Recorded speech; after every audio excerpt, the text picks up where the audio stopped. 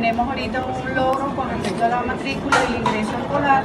Este, teníamos una matrícula de 285, logrando la creación del liceo este, Francisco de Miranda, llegamos a una matrícula de 485 gracias a la revolución. Nosotros podemos incluir en el proceso de las orientaciones por el ministro, lo incluimos a todas estas comunidades, la mayoría de las matrículas de este. Gracias, presidente, por darnos la oportunidad de crecer en cuanto a la calidad educativa y el proceso pues, cuente con nosotros que vamos a hacer lo que en realidad reforzar nuestro proceso educativo como de lo estamos pidiendo.